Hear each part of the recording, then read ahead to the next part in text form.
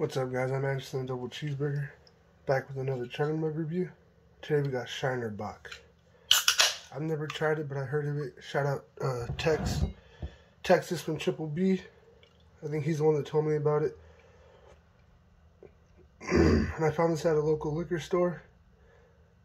I think it was like two, almost three bucks, but see if it's yummy. I think he told me it was 4.6 4.6 ABV. Checking my review. Shiner Bock, made in Texas.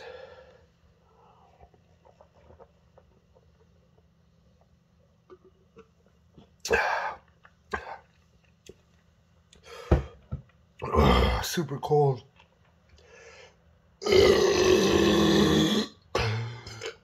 Yummy. I don't know if it's because the color made me think of Newcastle. but I give that a solid 7.2.